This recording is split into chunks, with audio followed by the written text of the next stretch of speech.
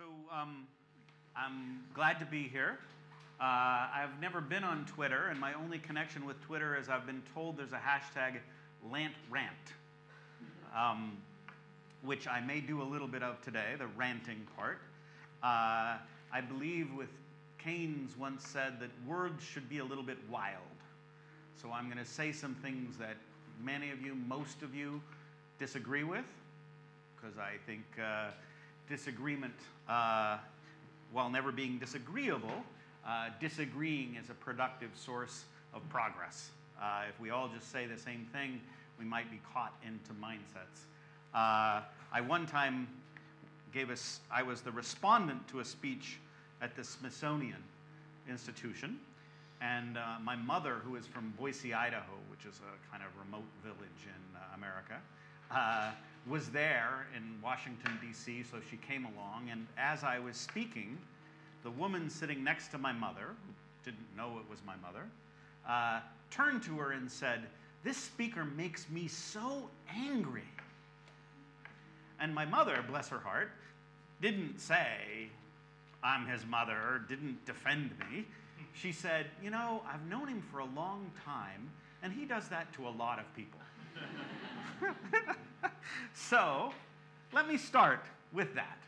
Um, so, the kinky is a word I'm going to explain exactly why I use this word, but let's start with a bête noire of kinky development, which is some kids at Harvard invented a soccer ball with a battery that is charged by motion, such that if you kick this soccer ball around, it can power a single LED light bulb for about three hours. Um, and then in 2003, uh, President Obama, who is uh, a busy and otherwise occupied man with lots of tasks, takes time out of a visit to Africa to kind of show off this soccer ball, right? To highlight this soccer ball as something, some addressing of the concerns of power in Africa. Um, now, this is the kind of thing that I think is completely beyond the pale ridiculous. In the sense that the reality is this is the view of America from space at night, and this is the view of Africa from space at night which reveals to you the true magnitude of the lack of electrical power in Africa. This is a this continent, or this part of the continent, has as many people as that continent. And yet, the typical American uses 13,000 kilowatt hours of electrical power a year. The typical resident of Ethiopia, 52 the typical resident of Kenya, 155, the typical resident of Nigeria, 149.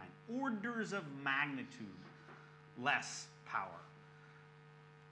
Africa does not need soccer balls that if you kick them around and if they happen to work and if they happen to continue to function, and by the way, cost enormous amounts, cost nearly per capita GDP to buy each.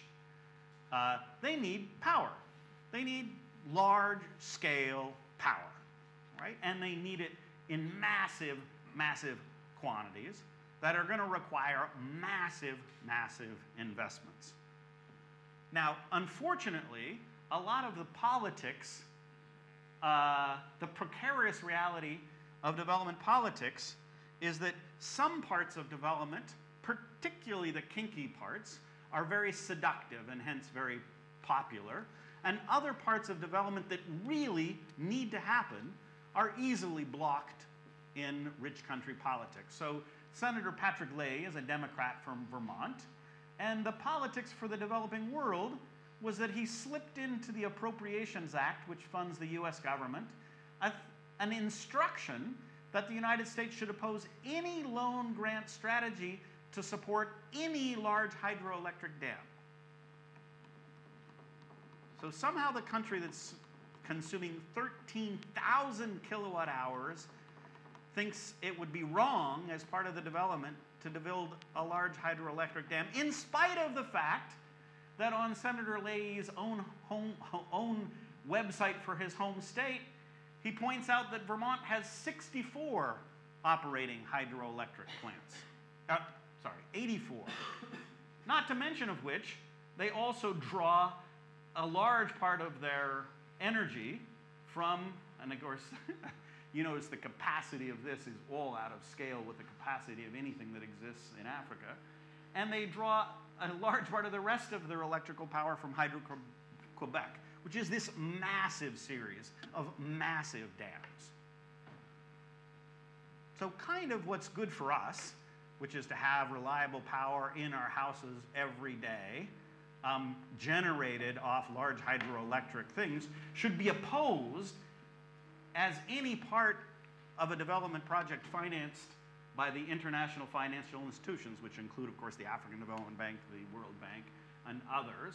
Um, why and how exactly do we reconcile this? And what I worry is that a large part of the reconciliation is oh, we'll come up with some cute, clever way of providing Africans all the power they need by kicking around soccer balls so that we can indulge ourselves in political fantasies we have about we're doing development while in fact denying people the exact development processes that we enjoy. So um, here's a real conversation that I had in India um, while I was working as a development practitioner for the World Bank and living in India, and I had been there for some time, and I was having a discussion with my colleagues about how to structure a water sector project in which we were going to invest literally hundreds of millions of dollars in developing water sources.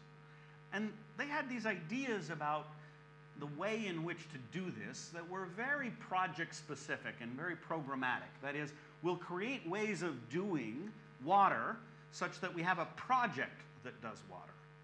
And I was thinking, no, no, no, we need an organization that does water. and after about an hour of conversation, I said, you know, I think the problem we're having is we're discussing the means without discussing the ends. We're discussing how to do water without discussing what's your vision of water. And so I said, what is your vision of what success will look like in the water provision in sort of household water in India? And they said, oh, well, we have a very clear definition of success. It's the goal the Indian government has that every household in India should have be within half a kilometer, right? Half a kilometer is like, well, it's, a, it's exactly a half a kilometer away, right? That's a long ways to walk, right? should be within a half a kilometer of 40 liters a day of safe water? So, in, the, in their vision, universally available standpipes, this is their vision of success in the water sector. And I said, I see exactly why we're disagreeing. This is my vision of success in the water sector in India, which is that everybody can take a hot shower inside their house. When we have been successful at development in India, everyone in the country will have this, or at least access to this, right? We're not stopping at this. This is terrific compared to what she might have had, but this is not my vision of success. This is a vision of kinky success. This is a vision of kinky development. This isn't yet done. So, um, and you might think many of the countries or many of the countries of the world um, that there's political momentum. The head of the USAID the other day sent an invitation for me to come to a meeting premised on the fact that political momentum was building to make the end of extreme poverty central to the post 2015 agenda. Now, you might think making eliminating extreme poverty defined as people living on less than a dollar a day, like who could be against that? Right? Me. I am dead set against that as being central to the development agenda. Meaning, I want extreme poverty to be eliminated, but I want extreme poverty to be eliminated by there having been development. Not defining development as the elimination of dollar a day poverty. because those lead to two very different conceptions of what development is and what development success would look like. Dollar, so dollar a day poverty is a complete fiction. It's made up. And I can assure you of this because I was there when it was made up. It's a complete social construct of world hyper elites. What do I mean by hyper elites? I mean the elites of the elites. People who work at the World Bank are the elites of the elites, right? They're not like, they're not even like the elites of their own country, right? And what they are pushing for is this.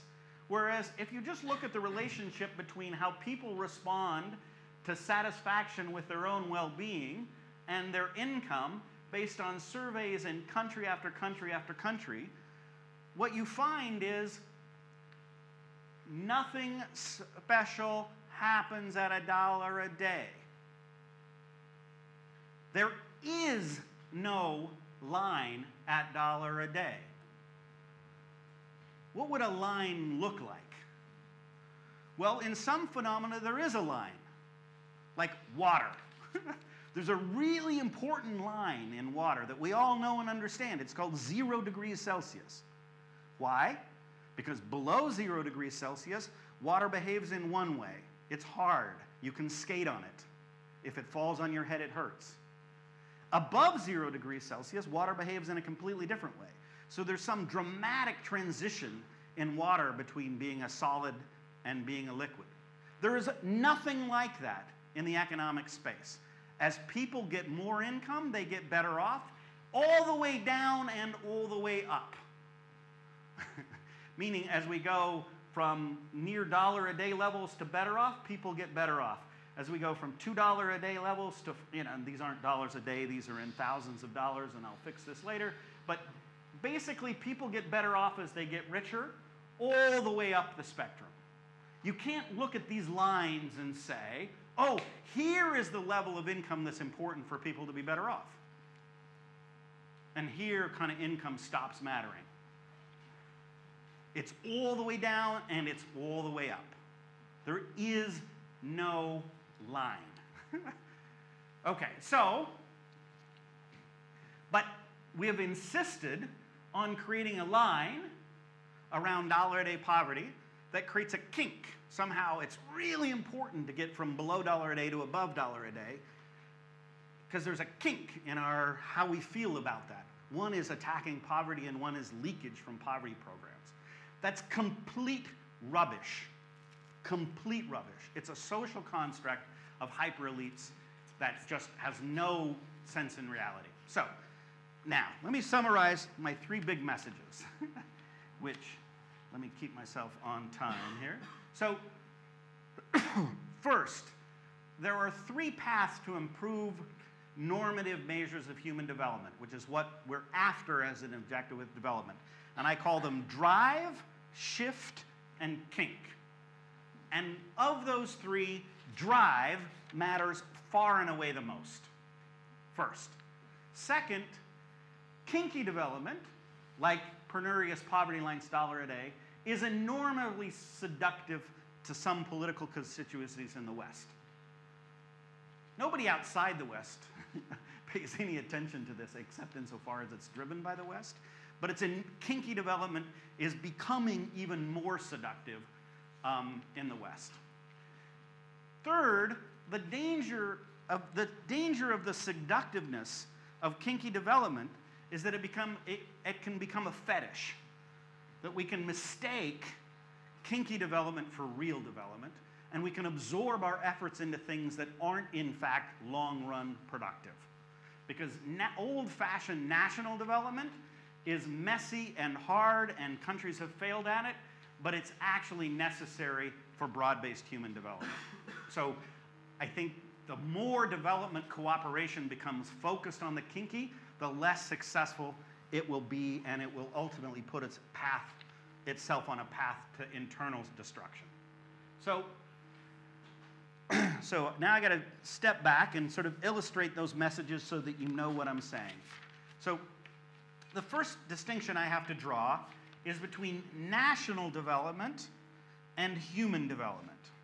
National development is a process that happens at a societal level, which could be the nation, could be a nation, could be a nation state, and national development.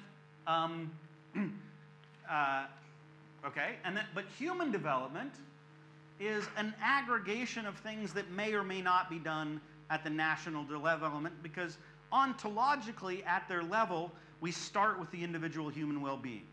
So we could all start with the education of each person in this room. And then we could disaggregate the education of each person in the room into the education of the blue-eyed and the brown-eyed or the education of the left-handed and the right-handed.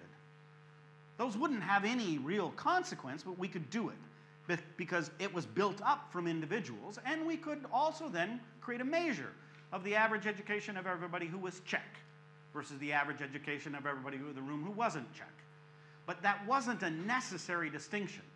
Whereas national development isn't at the individual level, it is at an aggregate level. And this is, I'm using the word ontologically and all I mean by ontologically is things don't change their ontological nature. So this has all of the elements of being a frog. Its frogginess is preserved through all these transformations, and development is a dynamic process that never changes its ontological nature.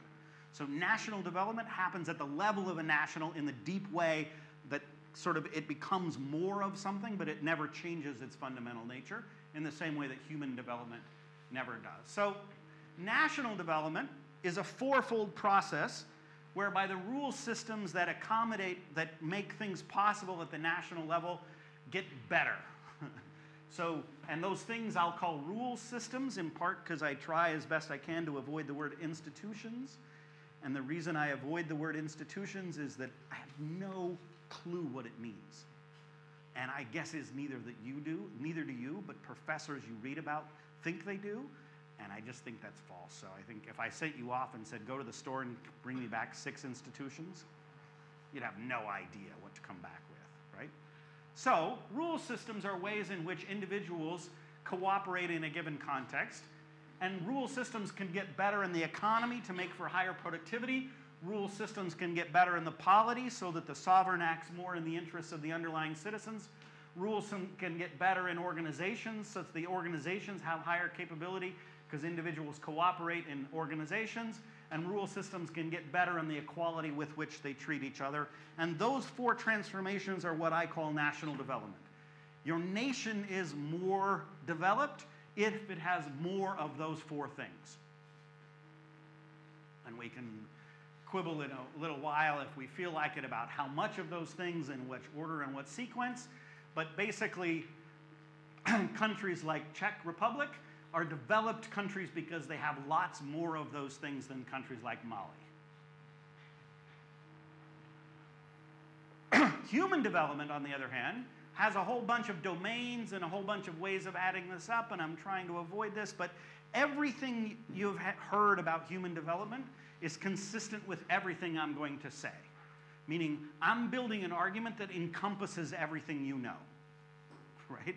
So everything you know is a special case of what I'm saying. and all I mean by that is all a human development indicator is is we pick some dimension of human well-being and then we think about how we normatively order that. A person is better off if they have more of this and this much better off if they have this much more of it. But the thing about human development indicators is since there's human beings, within any given society, there's a distribution of well being from low to high, right? And then we can think of various ways of summarizing this distribution. So, say this was income, say this was level of, of, of, of education, say this was access to water. Then we could say, we could say this distribution can be characterized in a number of ways. One, we could have a low bar characterization, which is how many people that this distribution represents are below the low bar. So if this is access to water, how many of them don't have access to water? Or we could characterize it by its central tendency.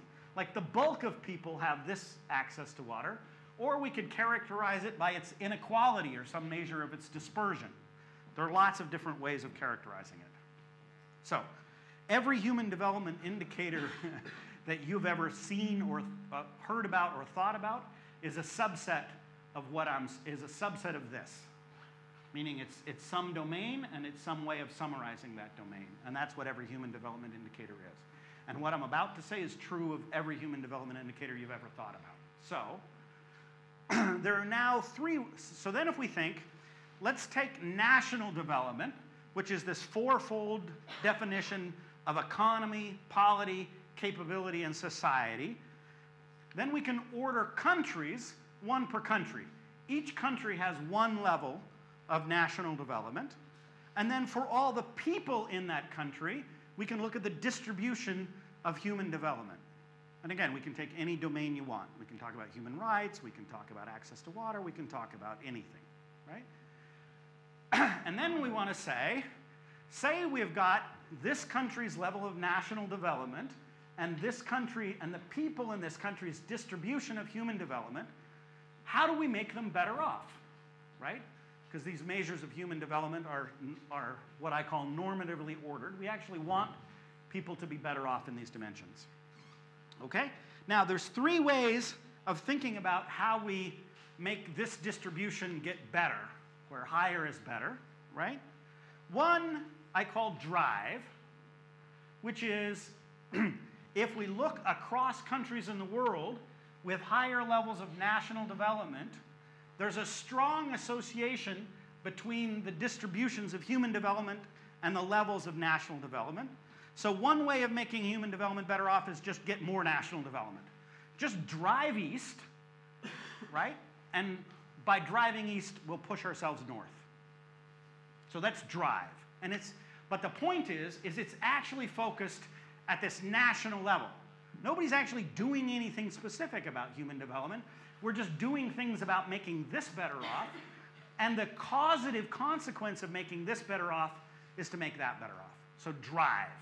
We're just going to become better, better nation states. More productive economies, more responsive polities, more capable states, and more social equality. And, and the word social is so hard to use, but social equality is, is kind of people within the society are treated roughly equally independent of their conditions of birth, is the rough definition.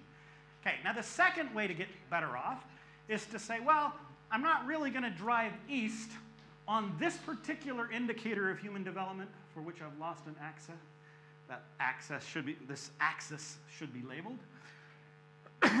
um, I'm just going to I'm just going to move everybody north. So what could that mean? So, well, I'm not going to change the whole country, but I'm going to get better at education. And I can imagine I get better education in various ways. I can maybe spend more proportionally on education, and maybe that'll make everybody better. I can get better at doing education so that out of the same spend, I get more outcomes. But I'm thinking of it all shifting up uniformly. I'm not focused on the low end, I'm just making everybody better off by doing it better, right? So this would be what I call shift, and it moves the whole distribution up. This would be sort of sectoral approaches. I'm going to get the whole health sector working better. I'm going to get the whole education sector working better. I'm going to get the whole water sector working better, right? And that's going to benefit everybody. It's going to get more hot showers and it's going to get more standpipes, right? um, the third way of making things better is kink. And what do I mean by kink? What I mean by is we draw a low bar target, right, through the low end of the distribution, and then we focus on bringing everybody below that up to that level. So we set a poverty line. And we say 17% of the people are poor and we want to reduce poverty. And how are we going to do that? Well, we're going to focus on the poor and we're going to raise the incomes of the poor differentially. We're not going to pull the whole thing up. We're not going to drive east. We're just going to focus on those people. Right? And that would shift this up. And the reason I call this kinky is that let's say your distribution of well-being was normatively was normally in the Gaussian sense distributed before, and you were successful at pushing everybody to align, then your distribution after your successful intervention would look like this, right? Because we've pushed everybody who was low up to this line, and by doing so, we've induced a kink at the threshold. So this is what I mean by kinky development, is we're focused on a low bar threshold, And our only kind of objective is to get people up to that threshold. And if we were successful at that, we, we actually create kinks around this line, right? Does everybody understand that? Okay.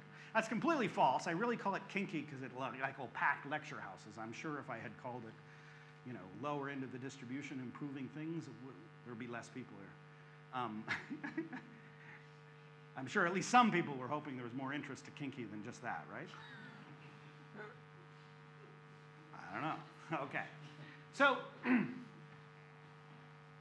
so now, what I, what I have done in a paper, and I could spend 30 minutes and go through all the gory details, but I'm going to tell you what the outcome is. I'm going to tell you that this outcome is kind of robust to however you would do it, and then you can trust me, or you can go read the paper. okay? Which is basically, uh, here's the empirical kind of exercise that I do is I say, let's take an index of national development where I take, and I don't have a good indicator for social equality, so I take bureaucratic capability, a measure of democracy, and a measure of GDP per capita, and I combine them into a simplest possible index. And I have an index of national development. And then I say, how does that index of national development correspond with national aggregate levels of indicators of human development. And then these are bar charts that sort of show you among the poor countries of the world, um, on a scale of 0 to 100, where 100 is the highest country in the sample and 0 uh, is the lowest, right? Um, among the poor countries, the kind of range is about 16 to 34. Among the lower middle income countries, it goes 39 to 60. It goes 54 to 72 among the third quartile. And for the richest countries, it goes 74 to, 100, to 90. So, meaning, this is an expression of drive. Countries, as they move from this level of national development to this level of national development to this level of national development, have about that much improvement in this indicator of human development right? So you can imagine, and there's all kinds of assumptions being packed into this, that if we causally were to able to attain national development, we would get about that much improvement in human development. And that would be our drive gain. But it's also clear that there's some shift gain. Some countries, even at roughly the same level of national development, have much better health outcomes and some have much worse health outcomes. So it's also possible that we could get some gain with shift, right? So shift strategies would sort of move you from being underperforming in this dimension for your level of national development to improving better. And then we could also imagine kink, where for any given country, a country that it was this average level of education would have some people with less and some people with more. And so we can imagine improving the situation in this country by bringing everybody up to this threshold. So in education, for instance, we could have a kinky goal like universal primary completion, where through the distribution of all educational outcomes, we've drawn some specific low bar threshold of completion of primary and said it's really important that people get up to that level, but we kind of don't care higher. Which is kind of a kinky thing to say because it's like not at all clear why we really care of getting you fifth to sixth, but don't care at all about getting you 67th. But that's what the goal says. That's what the MDG says, right? The MDG says we really care about universal primary completion and doesn't say anything else about the average level, about the upside level, um, and we'll come back to other things it doesn't say.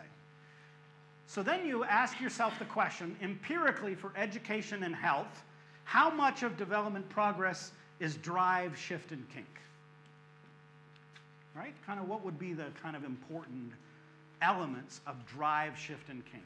Well, kind of no matter how you do it, we do a simulation exercise, and I'm waving my hands because I'm an economist, and that's what we do. It's like, and I'm waving both hands, not just one hand.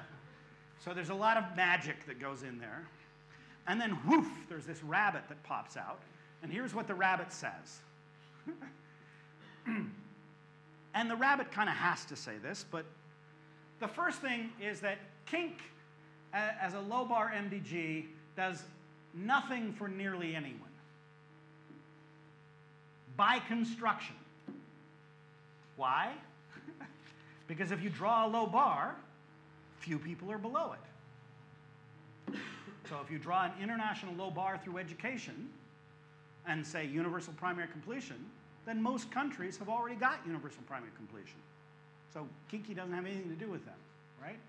Second, kinky is almost completely irrelevant for most developing countries. So if we say the, the kink, the, the problem being that if we go back and say we've set the kinky level to reach the average level of the poorest countries, nearly all of the poorest countries are way, way above that. These are still developing countries. I mean, these are countries like India, right? But they're already way above what could plausibly be a kinky low bar goal. Same thing here. Kinky low bar goal has almost nobody in the next quartile higher of national development in it. So by construction, low bar kinky goals become irrelevant for countries. They just stop really having any traction because very few people in those countries are affected by the kink, are below the kink, right? And that's just a necessary consequence of kink. Third, drive is the only way to get countries above any high bar international standard. So if we chose as a development target that countries have the same level of education as the Czech Republic, right? We're in the Czech Republic, your education's pretty decent, right? You're here in university, you kind of, you survived, at least. Lots of years of schooling to get here, right? Let's say, let's say we said, okay, as a target, we want countries just to get to the Czech Republic. Not countries higher than the Czech Republic, just to the Czech Republic, right? Well then, look back at this chart. Well, the Czech Republic's actually going to be up, here, which is it's going to be in the lower part of the richest countries, and no country down here is at that level. There's, there, there's nobody down here at these levels of national development getting to the Czech level of education. So if we set an international target that would be like a cosmopolitan goal that kind of everybody in the world should kind of have aspirations to achieve, not like the US level, forget the US, just Czech Republic levels, there's the only way to get there is drive. Full stop. There's no evidence that shift or kink, kink can't get you there anywhere near, and there's no evidence that shift has enough bite to it to really get you to reasonable looking high level targets, right? Fourth, drive eventually works always. Meaning, if you get national development, you will get every level of human development you want. Just full stop. Meaning, there just are no countries up here on national development. This is the low, this is the worst of the richest court of the, and I, I'm being sloppy. This is a national development index that has three components. It's not GDP per capita. I'm not defending GDP per capita except as a component of this. But this is the worst of the poor countries. You just don't get to be at this level of national development and still have child mortality. It just doesn't happen. And on nearly every indicator of human development, the same is true. You just don't get to high levels of, of national development and still have human development problems of the type that these countries routinely experience. So drive always works. Finally, shift is also possible and more in some domains than other. So I'm not, my, my main bone to pick is how much of development effort should be about kink and how much of development effort should be about drive. And I'm like a 90, I'm like an 85, 10, 5 kind of guy. 85% of it should be focused on drive, about 10% should be focused on shift, and about 5% should be focused on kink. The world is moving, the MDGs were 100% kinky. They were just kinky. There was no discussion of anything above low bar targets. Once you completed primary school, you were done. Once you were above poverty, there was no mention of having a goal that people would get richer than dollar a day poverty. Right? There was no mention of, like, if your father had a heart attack, maybe somebody would do something to help him survive. If he didn't get affected by one of the named MDG diseases, they had nothing to do with him. If your mother got cancer, too bad for her, wasn't in the MDG list. Yeah. Am I making anybody angry yet? so, so kind of where we got, I, I can see when I turn my back. Okay, anybody angry yet? I'm going to turn my back and you can raise your hands. Okay, I'm turning back around. Okay. Okay. Um, the, the thing is, is that we very much headed um, towards a set of development goals that didn't have any developing countries in them. What I mean by that? What I mean by that is take the dollar a day poverty line and then look at the 40th percentile. That is a person who is poorer than the median person. The median person's at the 50th percentile.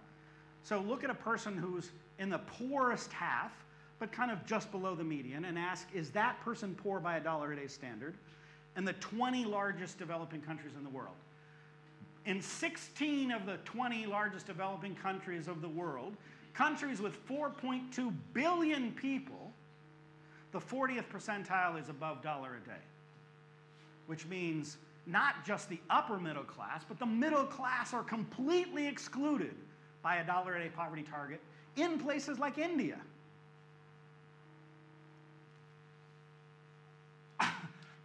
and only four of them, these four, Nigeria, Bangladesh, the DRC, and Tanzania, have even the 40th percentile below the poverty line, and only two of them have the median, the typical person, um, below the dollar a day poverty line. So basically, the country, if you had people vote their interest, you would and say, do we want an agenda in which you're included or you're not included?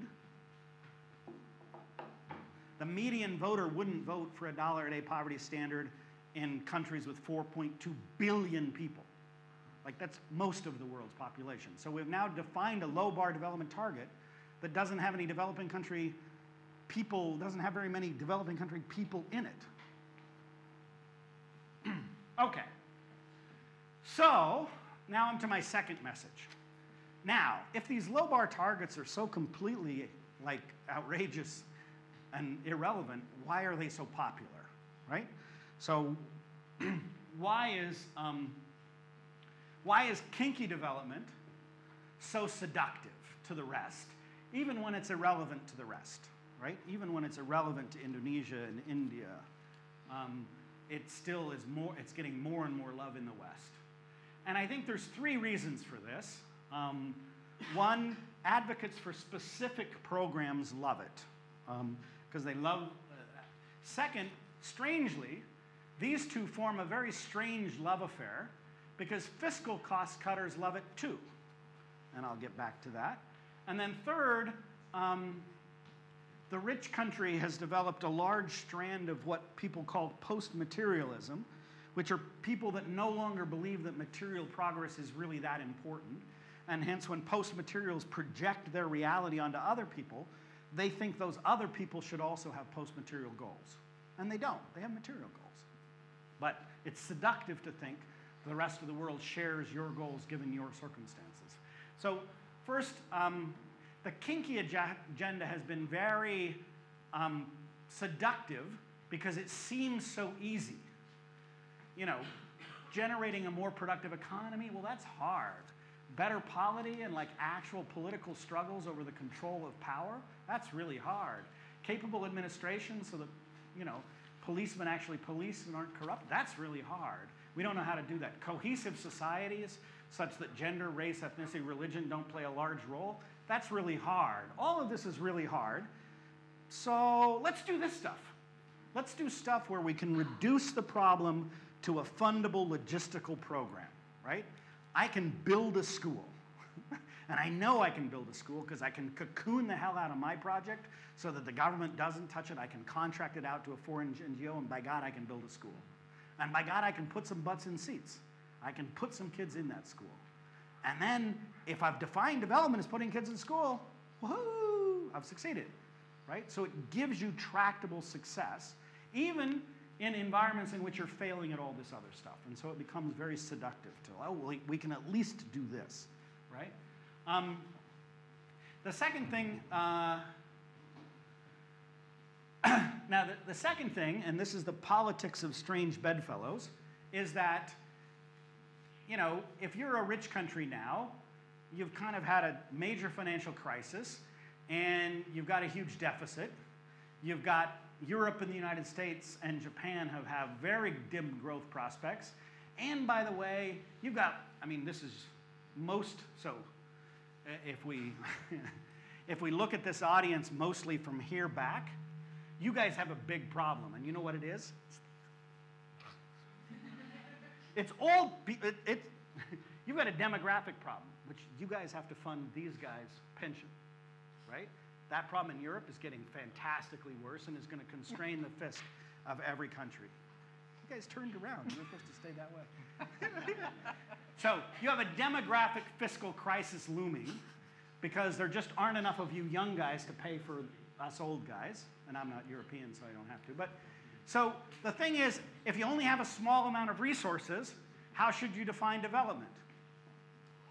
You should divine it in such a way that with a small amount of resources you can make traction on it. You know, why say I'm going to struggle with the problem of Indian becoming a state as capable as Czech Republic from its very chaotic and misordered and dysfunctional current state when I can just carve off some narrow goals that if I pump some money into it, it'll be okay, right? So actually, the advocates and the fiscal cutters kind of form this weird coalition in which the fiscal guys want to give development less, right? And the advocates say we'll take less if we can target it narrower. Okay. The last thing is that there's a world value survey that goes out and asks people about their priorities on various things, from which the data about support for aid come. Those data, I'm sure, are from the World Value Survey.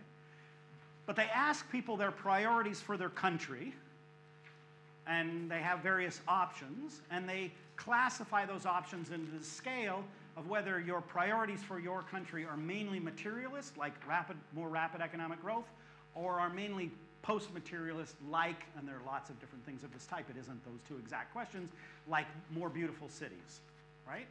Now, then I look at the ratio of how many people in the country are materialists for every post-materialist. So how many people want kind of more economic growth and more material stuff for people that want more beauty and poetry and stuff. And not surprisingly, in Sweden, people want lots more poetry. Why? Because they got, sorry, uh, I was going to use a swear word. Um, they got crap loads of stuff, right? Swedes have lots of stuff. So if you say at the margin, do you want more stuff or do you want more beautiful cities? They'll say beautiful cities. Do you want more stuff or do you want more poetry? Yeah, poetry. I wouldn't mind a little poetry because I don't consume any now and I got lots of stuff. So poetry, right? Whereas if in countries that don't have a lot of stuff, you ask this question, they go, stuff, stuff, we want stuff. So in Rwanda, there's six materialists for every post-materialist. In Sweden, there's two post-materialists for every materialist. They're kind of really anti-stuff. Um, in Egypt, there's 60 materialists for every post-materialist. And Egypt's kind of a middle of the middle of their own national development country. They're not super underdeveloped, right? So the difficulty is is um, is that post-materialists uh, are really important to the aid agenda, and they like the aid agenda to look post-materialist, and they don't like hearing so much about building large dams. So post-materialists kind of, oh, large dams, they hurt some fish. And oh, let me turn my light on and read more about why dams are terrible. Right? So the post-materialists can easily project onto others their own material circumstances and conclude that others would be better off with more post material progress rather than material progress. Whereas when people ask their own opinion given the material progress, say, stuff!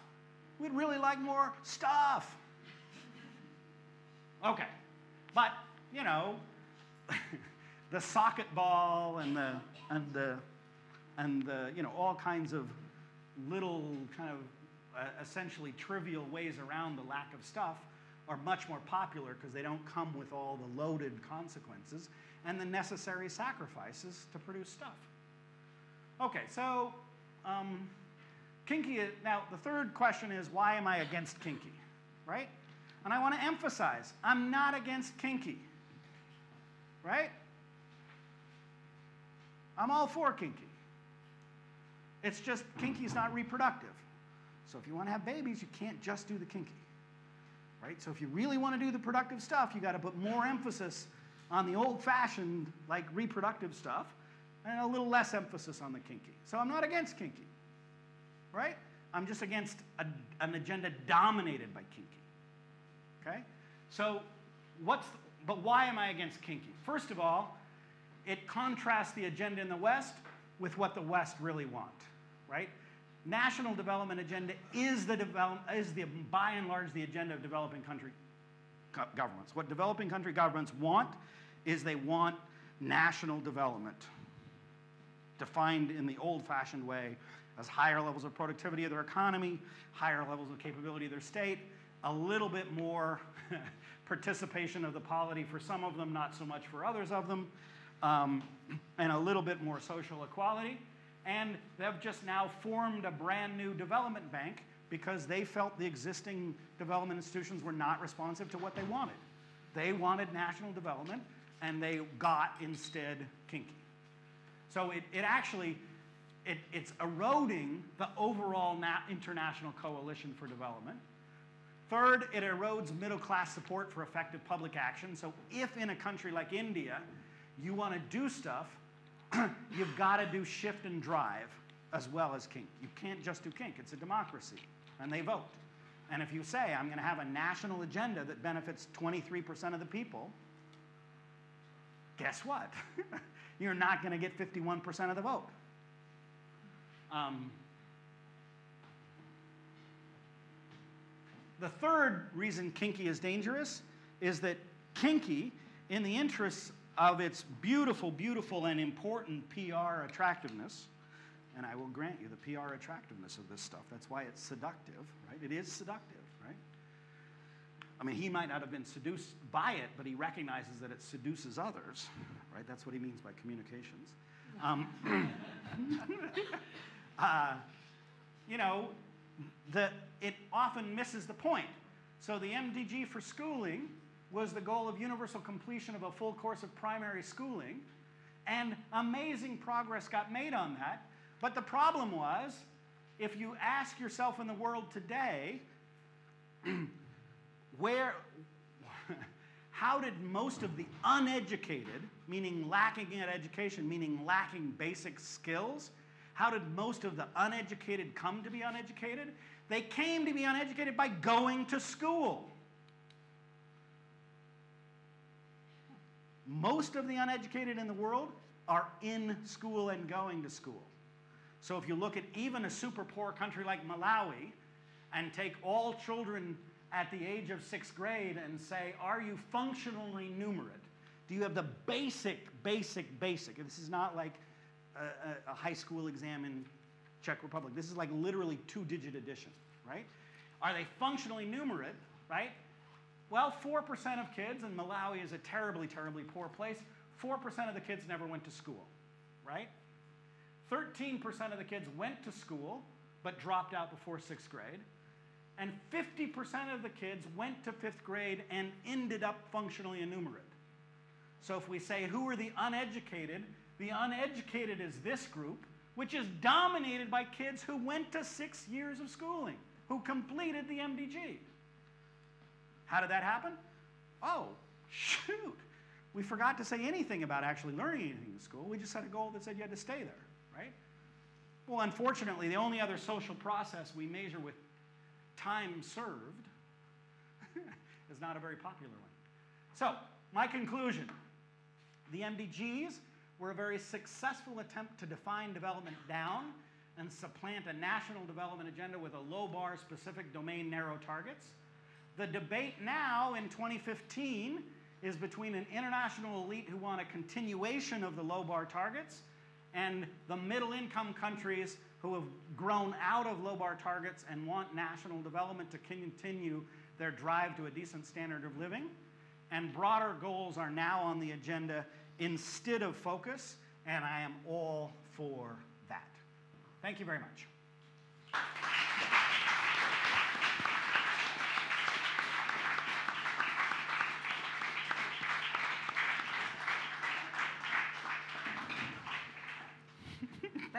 Pritchett. And now I would like to uh, introduce to you Mr. Michal Kaplan, who has been listening to the lecture with us, who is the head of the Czech Development Agency, and who has accepted our invitation to become a discussant to Mr. Pritchett. So please, can you move forward? Thank you. And I would like to uh, open the floor now for discussion. You have heard many, many remarks and many comments on, on the development. So please, if you have any questions, uh, raise up your hands and we will bring the microphone to you. But before that, let me please pass the word to Mr. Kaplan to begin. Thank you. Good evening. Uh, I have a very difficult role you know, to, to respond to the professor's uh, lecture and to launch uh, discussion. Uh, first, uh, let me say that I believe that MDGs have been a success. But I agree that uh, they have been more successful as a PR tool in, its, in their simplicity to, to, co to communicate to the general public. They have been less successful as a, as a guide for practical policy. I don't know of any developing country that would you know, copy-paste MDGs as, as the base of their national development strategy. Of course, that they have reported on MDGs, but if you look into the national development strategies of uh, poor countries, they have uh, set themselves uh, other targets, maybe more ambitious targets, uh, and, and more, more, uh, more complex targets. So what's wrong with the MDGs? Uh, I agree that one flaw is that they measure quantity rather than quality. Let's take the education goal which means the number of uh, children who attend schools. It's fine, but uh, attending a school doesn't you know, tell much about you know, learning results. So we have, we have other measures, for example, the OECD PISA uh, you know, uh, ranking of uh, educational results. So this, this is one, one problem with MDGs. And the other problem is, is exactly with the income MDGs because it is defined as a threshold which, uh, which you know, narrows down the focus uh, of uh, development community just on, on this $1.25 per day. And it is a very narrow, narrow view.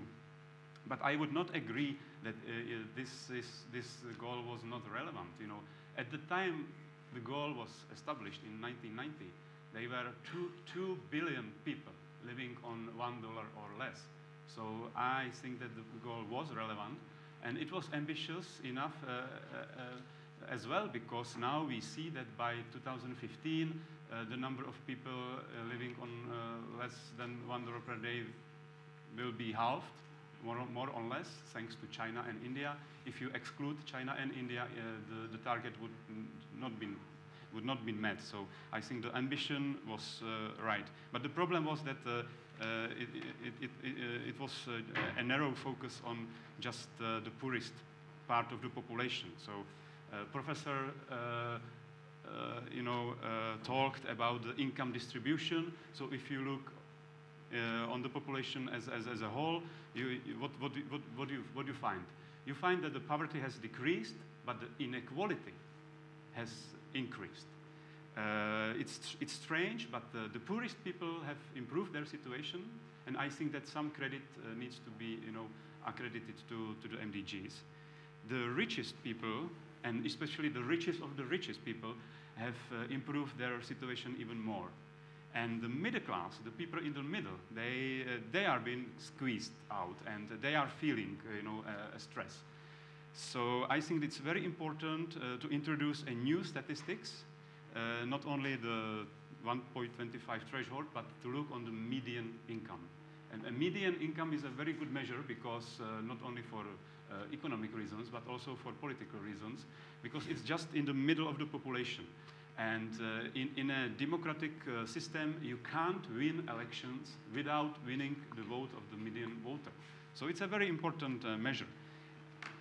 Uh, and after the Second World War, you know, the, if, if you follow the, the gro economic growth, it was five, six percent a year, but the income of medium uh, you know, um, income, income of medium uh, uh, people have, you know, had increased by the same amount, five or six percent a year. So it was a, a, fair, a fair society. But this pattern has changed, you know, at the beginning of 70s and in the 80s, and, and, and now there is a spread, uh, you know, the, the economy, the productivity of economy is still, you know, uh, growing, but the, the, the, the, income of the, you know, medium uh, worker is, is, is, is lagging behind. So, so I think this is the problem. There are many explanations for that. Uh, technological change, for example, now everybody is talking about the third wave of industrial revolution. The, the machines are once again replacing uh, workers. Uh, maybe it's a, a temporary uh, feature and uh, the technological change will gradually, you know, create benefits for the whole population. But the second explanation for this uh, disparity between you know, productivity of the economy as such and the, the, the, middle class uh, uh, uh wealth is that perhaps democracy is not working uh, well. Uh, the, the rules of the game has, have, have been changed and the, the, the elite, you know, the, has, and through, through lobbying, lobbying the, the, the, the, policy makers and decision makers, they have distorted the, the, the rules of the game. Uh, so this is my this is my analysis. I will turn uh, now to the to the to, to the uh, development policy because I am a practitioner. I uh, I had an agency, Czech Development Agency, who provides uh, uh, development cooperation to, to, to poor countries. So so in my view, there are two basic strategies how we should reduce poverty, and these strategies loosely loosely correspond to the professor's drive versus kink approach. So the, the, the drive approach I call a capi capitalistic strategy, which is a very optimistic you know, strategy that uh, uh, you know, innovation, entrepreneurship uh, is good and that inequality as such is not a problem. Rich people are getting richer, but these rich people spend you know, on, on goods and services provided by, by not so rich people and poor people. So as far as this wealth you know, flows down uh, to, to the population, the trickle-down, you know, economy, uh, it's fine. So this is the capitalistic strategy. And the second uh, is, I call a socialist strategy, which tries to target the poor directly, of, often through redistribution, redistribution of, of wealth. Uh, I come from a country, you know, uh, Czech Republic and Czechoslovakia, who had this experiment with communism. So uh, I, am against, against uh, this extreme version of, of, of, socialism. But still, you know, there are some interesting and surprisingly interesting examples that this strategy could work. For example, in Brazil, uh, some of you may heard uh, about the Bolsa, Bolsa Familia scheme, which was, uh, you know, targeted, very much targeted to the poor, conditional cash transfers. So this was giving money to, to, to poor people in Brazil, but the, the distribution of money was conditional. For example, that the mothers uh, uh, had uh, to get their children, you know, uh, vaccinated, and they had uh, send their children to school. So I think we should also think uh, about about this this you know di direct you know at attacking the poverty directive from from this point of view. Uh, I, uh, that's, uh, that's, that's it. So I will, I will now ask or, or raise three, three questions to, to the professor.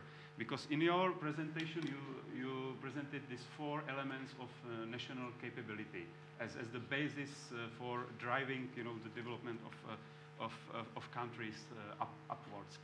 Uh, I was missing one element, and this was democracy, liberal democracy. Uh, do, do, do you believe that liberal democracy as a, as a model of organizing society is the best model how to deliver on, on development and, uh, and poverty reduction.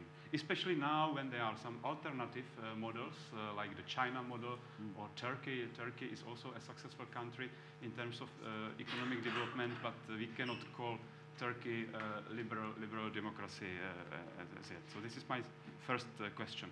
The second question is about donor interventions because sometimes we mix two things, you know, development strategies of uh, poor countries, because the governments of poor countries are responsible for their development in the first place. And then, you know, donor intervention, you know, uh, this, uh, this should be, I think, uh, uh, distinguished. It's I agree that the governments of poor countries need to focus on the whole of the population, not only just the poorest of the poor, uh, but donor agencies, on the other hand, they don't feel this kind of constraint. Uh, and if you ask uh, people in the Czech Republic whether Czech aid should go, you know, to the poorest of the poor, they, they, they say yes. Uh, I think that the, the role of the Czech aid or Czech taxpayer is not to, to try to, uh, in, to, to try to provide hot shower for the, for the you know, uh, middle, middle guy in Brazil or Indonesia. So, uh, so do, do, would you agree that even though, you know, governments in partner countries need to focus on the, uh, on the population as a whole. Uh, the, special, the special added value of uh, donor intervention should still be to focus on the, on the poorest uh, part of the population in, in, in, in these countries. And, and the third question is particularly important for the Czech, Czech Republic as a donor because I think that what we try to do in our aid, sometimes we also are seduced by these uh, you know, easy solutions and, and kinky development. But sometimes, uh, sometimes not. And for example, we try to support good governance in our partner countries, justice reform in our partner countries, decentralization, you know, and all this kind of uh, institutional building. And I think this is the hard way how, how, to, how to achieve uh, development, but it's the, in the long run, it's, it's, it's, the, is the, is the most effective way. So do you think that the Czech uh, uh, development aid is on the on the good path? You know, uh, you know, trying to to target this kind of interventions. Thank you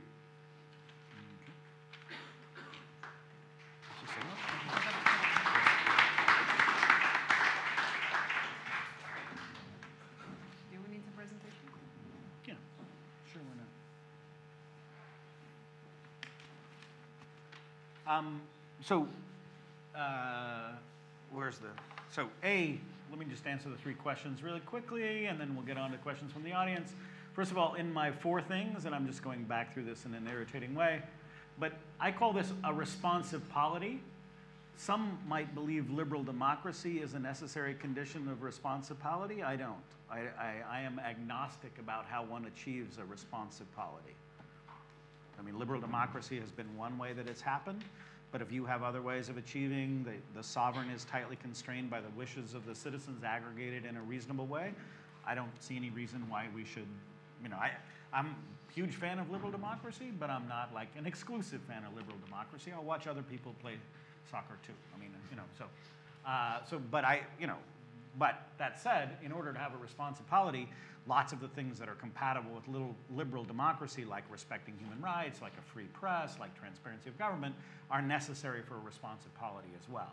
So um, uh, the, the second question was kind of Czech voters want to go to the poorest of the poor.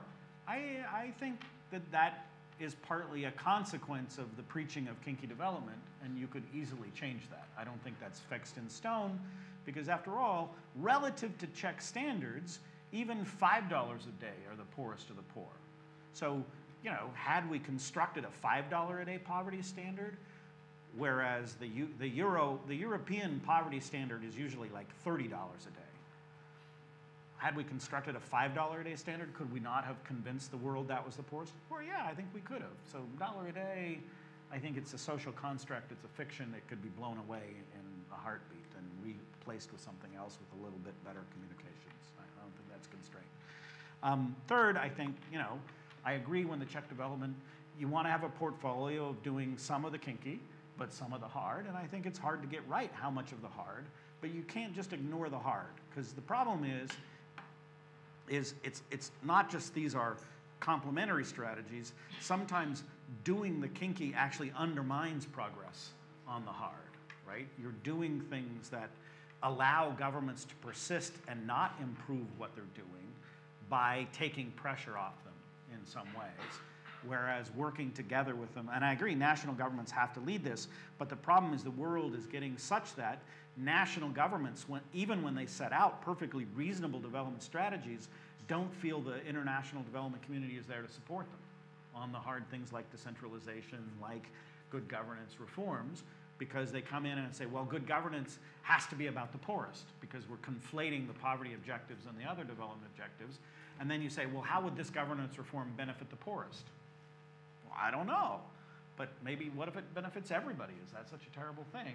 And I think national governments are increasingly feeling stranded that the development community is not there to help them on the hard things without this additional overlaid targeting focus. So it's kind of keeping the kinky, even overlapping the hard, is, is, is, has been a destructive influence, I feel, of the kinky. Okay, thank you. So we have the first question here. Uh, thank you, for, Professor, for an absolutely fascinating talk. Um, if you look at it from a, a policymaker's point of view, there, there was and there is, still is the need to communicate in a simple fashion in order to get support for more funds to be put into uh, uh, uh, providing development aid to 3rd mm -hmm. countries. So one of the biggest problems is how do you convince the average person that we have to, uh, we have to, we should give more funds for third countries. And of course, the real world is very complex, but you have to um, describe it in simple ways in order to be able to uh, have support from uh, the people in the street that are not knowledgeable in the particular topic. And of course, a number of factors influence whether or not what we're doing is successful. Look at Ebola. I mean, uh, Guinea, Sierra Leone, and uh, Liberia, we could have done the perfect projects there. But because of Ebola, now we don't have the results that we expected. So the world is very, very complex. But if we look at the future, if we look at what's happening now, one of the biggest challenges is inequality. Not inequality, only in developing countries, but inequality in developed countries. The, the post-2015 um, indicators, which are currently at 17 goals and something like 170 um, mm-hmm. indicators, basically will be applicable to all countries. They will not be just applicable to the developing countries, but throughout the world. What would you suggest for, uh, um, and how feasible is it to, uh, to expect that there will be some other type of logic applied to these goals? if we know, for example, that if you're born in the lowest 20% in the US, you have a 95% possibility of uh, remaining in the lowest, poorest 20% in the US, at least that's some figures that I've seen. Or in, or in countries in Europe or elsewhere, we're seeing inequality rise. So what would you suggest? How can you convince policymakers, which generally intend to do good, to go for some other types of uh, goals, to go for a drive and with what amounts of money are we talking about to be able to achieve what you're suggesting? And just a comment on the slide on Malawi that you uh, showed. Um, do you have figures of how much of the uh, illiterate in Malawi were, uh, were in school before, let's say, 2000 and after 2000? Now there is a part of the illiterate that are at school, as far as what you said, but before that, before the time of the uh, MDGs, would you have the same problem, which is now reduced, or um, or it it has remained uh, the same. Thank you. Should we take multiple, why don't we take a round, if you don't mind, because we've got a half an hour left in the room? or Let's take multiple questions and then.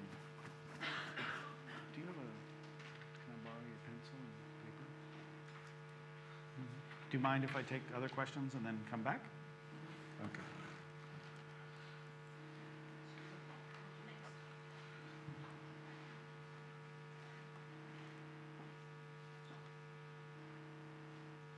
Were there other questions? That guy back there, he was, seemed really desperate earlier. That's why I was getting to him.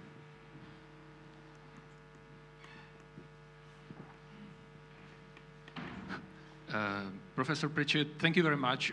I find your concept perfectly consistent, to be honest.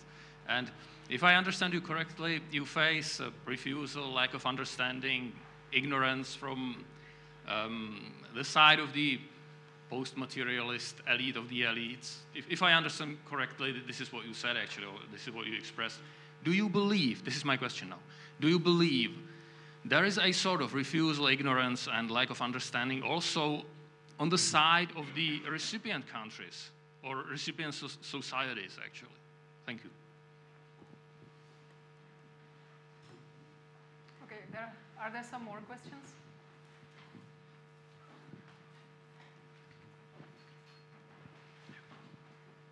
Uh, Petr Lebeda, uh, Glopolis. I uh, thank you very much for a very uh, interesting and indeed provocative lecture. Um, also find many of uh, the things you said I mean, fitting, um, uh, fitting the bigger picture of, of the development. It's really important to open debates in this way. I especially liked your uh, definition of reason why, uh, why the kinky development is so seductive. I mean, the combination of the fiscal cost cutters specific program uh, advocates and the post-materialists, in which I count myself as well, is really is really very, uh, I think. Um, uh, elucidating and showing way forward. We've been discussing with the NGO community really how to how to get um, outside of this our silo uh, of the post-materialist. I would still uh, doubt that it goes you know across the uh, across the countries, all the countries that you name, like the Chile, for instance, was an interesting example. I would say Bhutan and other countries would pro- also probably qualify for different ratio of the you know post-materialist materialist. Um, so it's much. Uh, it's also a question of culture, not just uh, not just uh, income, definitely. But the question, what I'm what I really uh, what I'm really missing in your in your even uh, the the very basic four uh, four main model is the environmental limits. The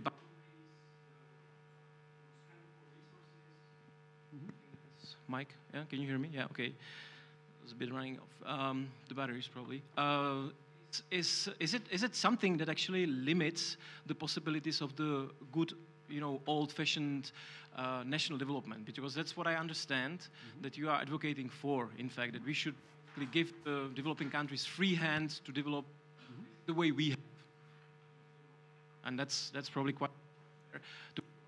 My question is, do we have the space, you know, for this? I mean, given are approaching uh, the, the dangerous limits in, in CO2 emissions, etc. I mean, we'll have these discussions all next year alongside the SDG debates uh, with, the, with the COP21 approaching.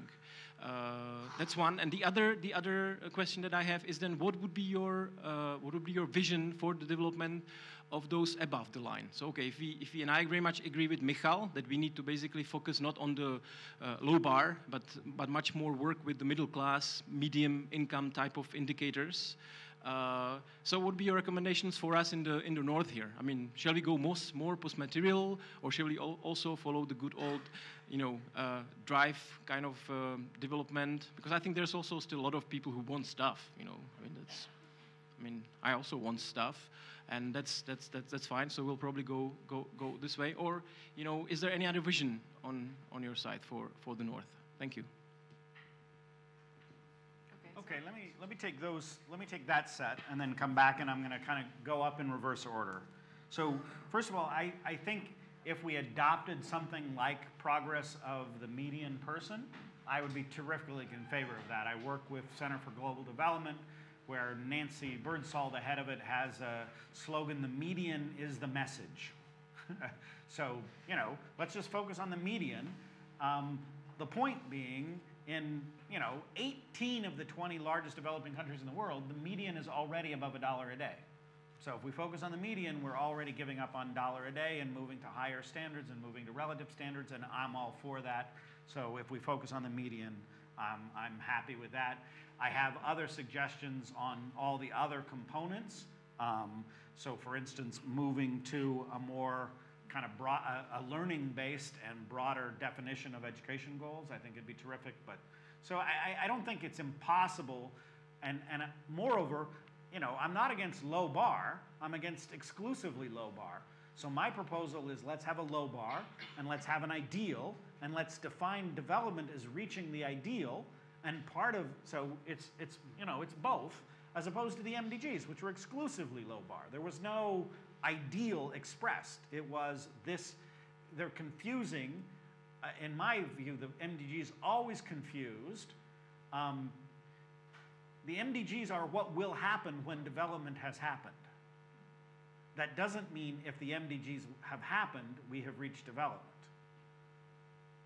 Right? Because if you reach development through drive, shift, and kink, you will have solved all the low bar problems. And, you know, in particular, you can't attribute any of the poverty reduction in China to the MDGs. Like, come on, let's be serious. The Chinese did not do anything they did because they got, oh my gosh, the world has a goal of reducing dollar a day poverty, right? So since most of the poverty reduction came through the Chinese, the MD, you know, what was actually achieved on dollar a day poverty and the MDGs is completely causally unconnected, right? So anyway, so I think there are a set of goals, but moreover, you could have low bar goals and ideals in the same document, which is sort of where we've headed. Let me come back to that. Okay. Um, with the post-materialists, I think the post-materialists and all of us just need to get the golden rule right. Right? What's the golden rule? Do unto others as you would have them do unto yourself, which is both Jesus and Kant, so we're covered on all ends, right? Um, uh, Kant used to teach right by here, didn't he? Wasn't Kant from. Anyway, okay. Immanuel Kant. Everybody remember Immanuel Kant? Anyway. This was a German. He was a German, but it's close still. I mean, he wasn't, he wasn't Buddha or anything. He wasn't from Nepal. Anyway, okay. But the point is, when you say the golden rule is do unto others as you would have done unto you, you don't mean as I would have done unto me in my circumstances. You mean as I would have done unto me in your circumstances.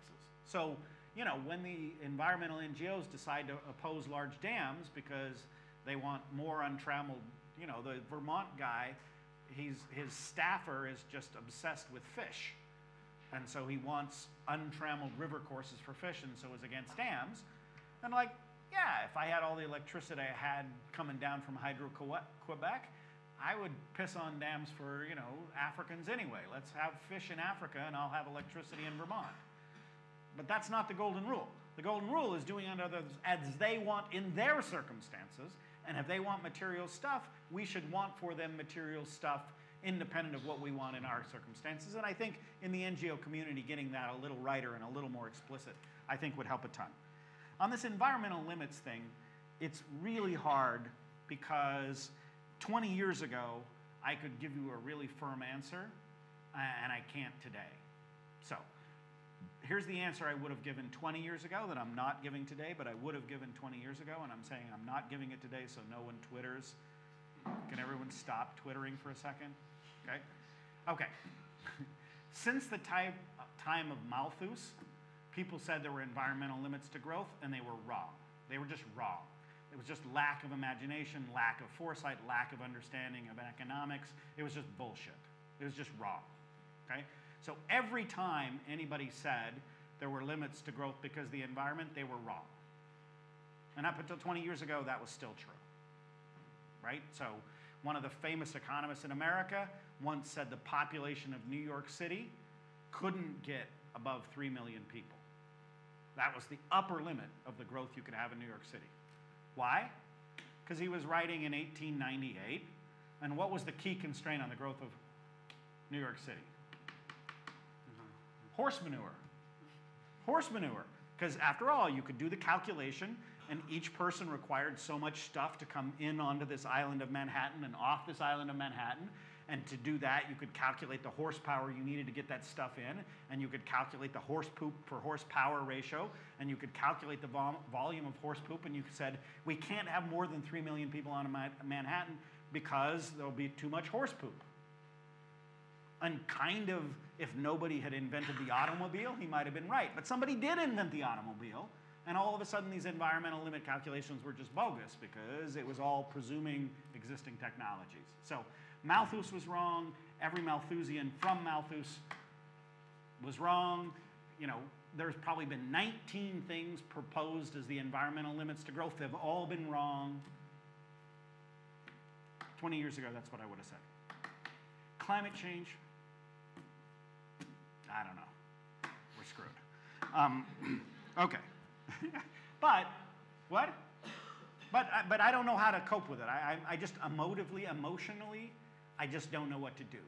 Because if you say to me, you know, I'm going to continue to live roughly the standard of the Czech Republic, but by God, Indians can't have refrigerators because it would blow climate change targets, I just can't wrap my head around that. That's just global injustice on a scale I just can't bring myself to embrace.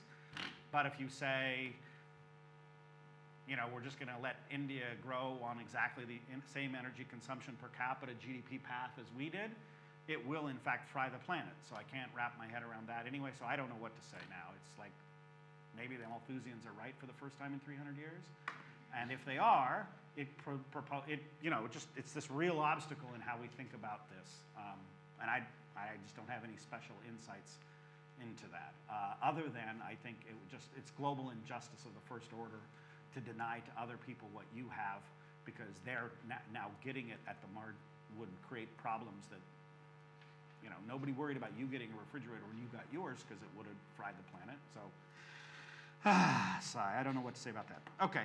Um, are recipient countries sometimes ignorant? Obviously, of course they are, and sometimes leaders of re- recipient countries want terrible things, right? But the beauty of the development endeavor is we should be able to match. When countries in these situations want to do good things, like have an effective municipal water corporation that would have 24 7 piped water, safe water to every house, we as the development community should be prepared to help them. So I'm not saying developing countries, because they're poor, are always right and rich countries are always wrong.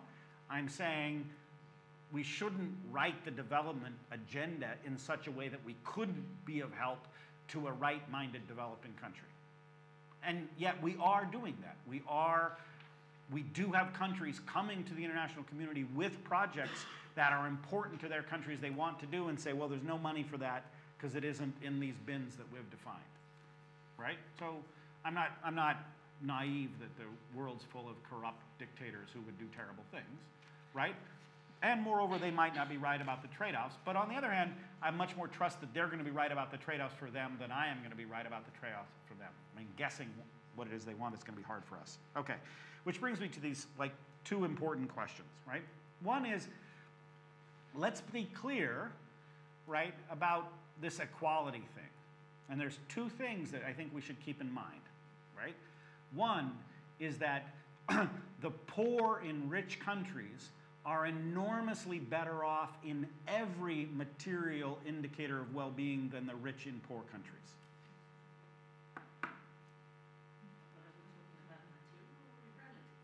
I'm saying material.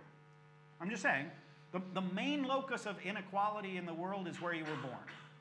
If you want to say, I want to predict your level of well being on any dimension, what do I have to ask? Are you men and women? Nah, that's not so important. Are you old or young? That's not so important. Rural, urban, not so important. What's important? Where you were born. If you were born in Denmark, boom, you're going to have high level well being, even if you were born into a super poor household in Denmark, right?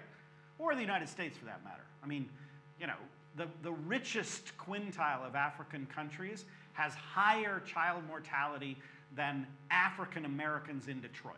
So take the least advantaged category in America, which are hugely screwed socially and economically and, and politically, and yet they still have levels of well being in terms of school, in terms of education, in terms of water, in terms of everything, than even the prosperous people. So most of inequality is still cross national. So if we say, let's focus on inequality within countries, I think it's almost a deliberate thing to avoid the major locus of inequality in the world by well being. Okay. B, I'm for equality. It's the, the, the, the only people talking about exclusive growth these days are the people that want it exclusively for the poor. That's exclusive growth. I'm for a middle class poor coalition. Right? Who is for the kinky coalition? The kinky coalition is the super rich with the poorest of the poor. Bill Gates is the kinky coalition. He doesn't give a shit about the middle class.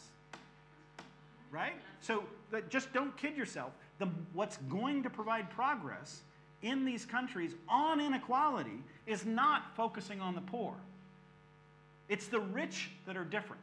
Now, if you want to sort of say, well, the problem with inequality is that the elites are gaming the political system, okay, are the poor defined by any low bar standard going to be the political coalition that stops that? No! It's going to be a middle class coalition that stops that together with the poor. So I'm the one that's against the elites, right? And what do I want? I want goals that benefit the middle class so that the middle class can be the politically and socially dominant and economically dominant part, so that they can form a coalition with the poor to stop the abuses of the elites. Whereas a rich poor coalition is often how the extravagant inequalities at the top are perpetuated because they take enough of their income to give enough to the poor to keep the poor from forming a poor middle class coalition in favor of a rich poor coalition. And if you look at socialism, socialism was never about giving stuff to the poor. That's just wrong.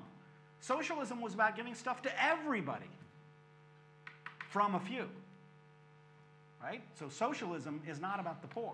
Socialism is about the middle class. And if you want socialism, you should be in favor of a middle class coalition. If you want a middle class coalition, you don't want kinky development, you want middle class targets. you can respond because you're right there anxious to do so. Just a couple of comments. First of all, globally, the middle class is disappearing, is being squeezed because you're getting. Uh, Just not true. Not true. Glo- it depends on what you mean by the global middle class. I mean, you're saying country by country. Yes. But the thing is, you're taking a distribution here and a distribution. I mean, Denmark's here and India's here, and you're acting as if the middle class here and the middle class here means the same thing. I don't which, understand which that. leads Why me to my think that? original question. Yeah. With such differences between countries, and keeping in mind that the uh, the post 2015 goals will be global, Exactly. how can we arrive at some indicators which first can get agreed by everybody and what could potentially be these indicators uh, uh, practically because you have such uh, different uh, Right. starting points But, that's but my the thing is, we, the answer is we are going to arrive at a set of indicators that are going to be no use at all to John, Jan, right? Meaning, we are going to arrive, if we arrive at a set of indicators that the middle class of India and Indonesia will buy into, they're not going to be simple, they're not going to be few, they're not going to be kind of good for PR, and I'm, I'm super happy with that because I just think we, you know, there's a question of how do we maintain the political wherewithal we need to have some amount of development effort, and then how do we define development? And I think we need to separate those two questions such that in the post 2015 process about what development is, we're big, we're broad, we're inclusive in the way that it's headed, right? We already have 17 goals and 167 things. So the MDG era is already over right? It's, it's done. So the eight MDGs, they're gone, right? In favor of 17, each with six, it's over, right? So I say good riddance. I thought, I thought they were a terrible thing in the first place, and I don't think any of the progress on the MDGs can be attributed to the MDGs anyway. Like how much of the MDGs went down because it was an MDG, and how much do these things get better because countries did it? I don't think we have any evidence of that. On, and on the poverty one, it's obvious that it had nothing to do with it, right? So, I think what we need to think about is your real question of once we have an agenda that the middle class of Indonesia can buy into, how do we create political support to support that agenda in the rich countries? But let's not get it backwards. Now, let's not look at rich country post materialists and say, what would keep them happy, and then go try and sell it to the middle class of Indonesia. That's just completely backwards, and that's what we're doing today. Okay. I'm really sorry, but we ran out of the time. I'm not. So I'll need to stop it now. Okay, and conclude the discussion. So, Len, thank you very much for a very interesting lecture and the discussion.